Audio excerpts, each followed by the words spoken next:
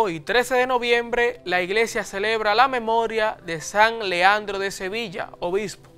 Nació en Cartagena, España, hacia el año 540. Pertenecía a una de las familias más importantes de la ciudad, integrada por un padre hispano-romano y católico y una madre arriana.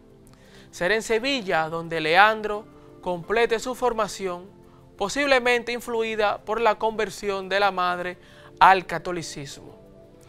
En el año 578 era nombrado obispo de Sevilla. Se entregó a la intensa labor en pro de la conversión a la fe católica del pueblo visigodo que profesaba la herejía arriana, la cual negaba que Jesús fuera Dios.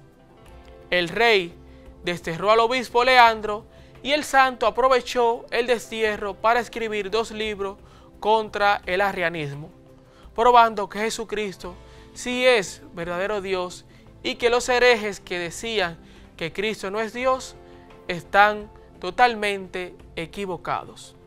Estableció una fructífera relación con San Gregorio Magno. A Leandro también se le debe la creación de la Escuela de Sevilla, se interesó por la enseñanza oral, los escritos y la formación de los clérigos.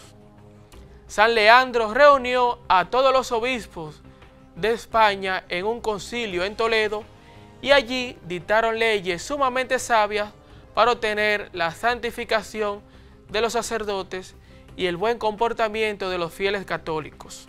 Mandó que en la Santa Misa se recitara el credo que ahora se dice en las misas de los domingos con el objetivo de combatir el arrianismo. Afligido por una enfermedad que le causaba inflamación dolorosa de las articulaciones, la misma enfermedad que, que sufría por entonces su amigo Gregorio el Magno, supo recibirla como un favor del cielo y como una gracia muy grande para expiar sus faltas. Murió en Sevilla en el año 599. Oremos. Señor, tú que por medio de San Leandro mantuviste en tu iglesia la integridad de la fe, haz que por su intercesión muchos que se han apartado de la fe verdadera regresen a ti, su único Dios. Por Jesucristo nuestro Señor.